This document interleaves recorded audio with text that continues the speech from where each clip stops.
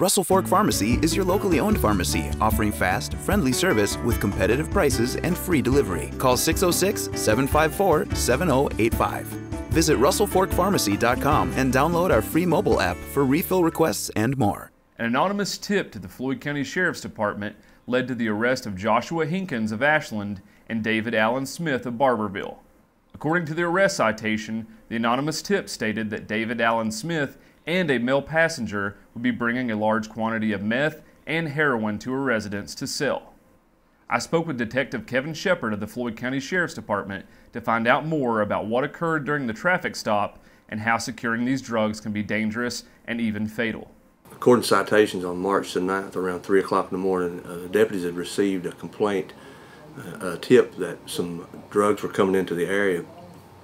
Somewhere during that time they were able to locate a vehicle that matched the description of the car that they had received earlier. At that time, Deputy Thacker, I think, was the first unit that was behind the vehicle, and during that time, he had did get behind the vehicle, and as he activated his emergency lights, uh, the subject they appeared to be throwing something out the window.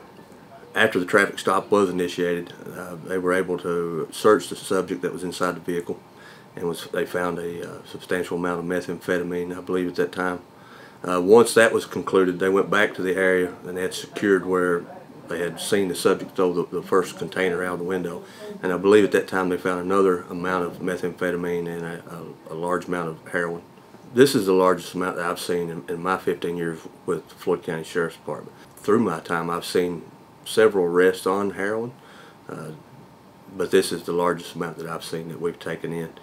According to the arrest citation, Joshua Hinkins told Deputy Brandon Martin that he wasn't there to buy or sell anything, but his intentions were to rob the subject that was going to be purchasing the illegal narcotics.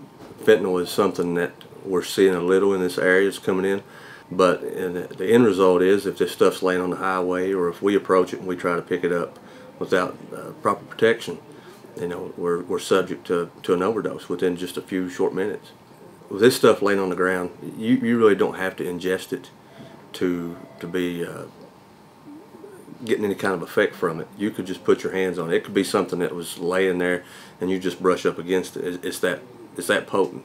Um, you know, uh, so far we haven't had any complaints where we're finding fentanyl or heroin just laying, but there's always that chance that we could be in pursuit of someone. They could just throw it out and we we not see that, and then some innocent person or child comes up and finds it. God forbid that ever happens. I mean, we're trying to stop the drugs from coming in, plus keep it out of the community's hands. You know, it's just uh, it's it's dangerous in every way. You know, the the best thing we can do, and I know people we've it's like beating a dead horse, is educate. But that's that's where it comes down. I mean, it's it's educate, educate. You know, and that's uh, through media we're able to do that with what we're doing with you guys. And uh, but yeah.